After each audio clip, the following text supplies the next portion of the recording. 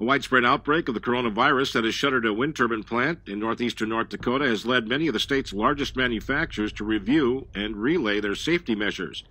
The number of infected workers at LM Wind Power stands at about 150 at the Grand Forks plant that employs about 900 people. Officials with some of the state's largest plants, like Marvin and John Deere Electronic Solutions in Fargo, say their safety regulations go beyond the standard protocol of proper hygiene, protective gear, and social distancing. Changes have included temperature checks, unique equipment like no touch door openers, and liberal leave policies and pay provisions.